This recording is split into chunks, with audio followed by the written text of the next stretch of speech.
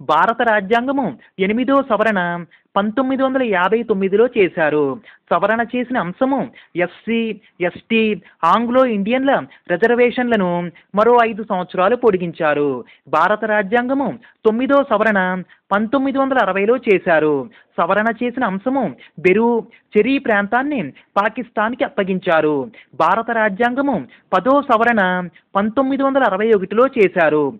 సవరణ చేసిన అంశము దాద్రా నగర్ హవేలీని పోర్చుగీస్ వారి నుండి స్వాధీనపరుచుకొని కేంద్ర పాలిత ప్రాంతముగా చేర్చారు. భారత రాజ్యాంగము పన్నెండో సవరణ పంతొమ్మిది వందల అరవై రెండులో చేశారు. సవరణ చేసిన అంశము గోవా డయు డామన్లను కేంద్ర పాలిత ప్రాంతముగా ప్రకటించారు. భారత రాజ్యాంగము పదమూడో సవరణ పంతొమ్మిది వందల అరవై రెండులో చేశారు.